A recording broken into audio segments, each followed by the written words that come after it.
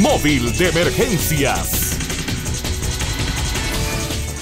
Gracias, gracias. Buenos días. A esta hora de la mañana le presentamos de manera rápida el resumen policial de los hechos más importantes ocurridos anoche en Tegucigalpa, Comayagüela y alrededores.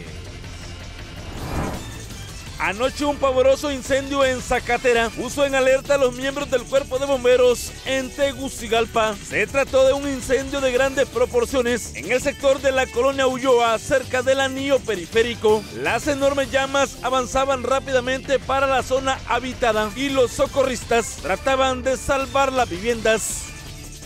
Es eh, una maleza bastante seca y con el viento pues ahí vive el fuego y esto nos dificulta el trabajo porque avanza muy rápido el fuego y se traslada de un lado a otro rápidamente. Pero estamos eh, tratando de controlar las llamas para evitar que llegue hasta las viviendas.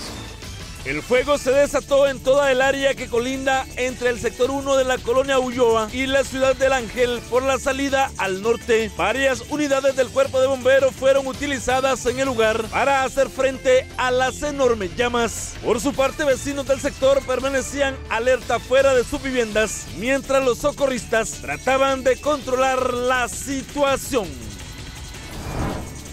Vecinos del barrio Morazán, sector Los Jucos, en Tegucigalpa, denunciaron anoche ya no soportar los asaltos. Informaron a la policía que sospechosos a bordo de un vehículo tipo turismo color blanco han llegado en varias ocasiones a cometer atracos. En los asaltos, personas han resultado heridas y de acuerdo a los denunciantes, hasta el momento los equipos policiales no han dado ninguna respuesta. Asimismo, se informó que de no tener apoyo de las autoridades, se estaría buscando hacer justicia por sus propias manos. Ayer se reportó la muerte de un hombre en el hospital escuela de Tegucigalpa. El fallecido fue identificado como Calixto Martínez Romero, de 41 años, originario del Tule, San Luis, Comayagua. Según sus familiares, el hombre sufrió un accidente en su motocicleta el pasado fin de semana. El percance ocurrió en Quebrada Amarilla, La Libertad, Comayagua, cuando Martínez Romero iba para su casa de acuerdo a lo informado. Un choque entre dos motocicletas lo dejó en estado grave y de manera pronta fue remitido al hospital escuela. Ayer Calixto Martínez Romero perdió la batalla por la vida en el principal centro asistencial capitalino. Sus familiares muy tristes reclamaron el cadáver esta madrugada en la morgue judicial de Tegucigalpa.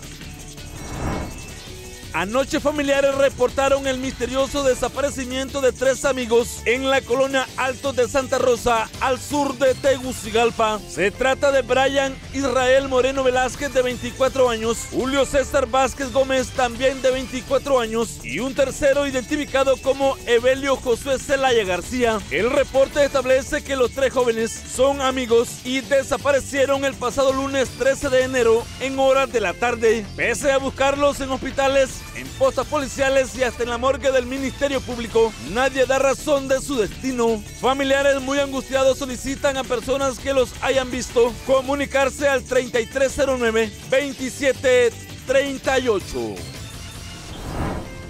En el marco de las operaciones de Fusina, anoche la Policía Militar del Orden Público participó en la saturación en varias colonias de Tegucigalpa. Entre los sectores donde se realizó el trabajo policial están la colonia Kennedy, Residencial Honduras, Colonia Villanueva, Miraflores y zonas aledañas. En las operaciones se contó con el apoyo del primer batallón canino en los minuciosos registros. A través de patrullajes móviles y en puntos fijos, personas eran requeridas para efectos de investigación. Asimismo, algunos establecimientos como Servillares y otros centros de entretenimiento fueron inspeccionados.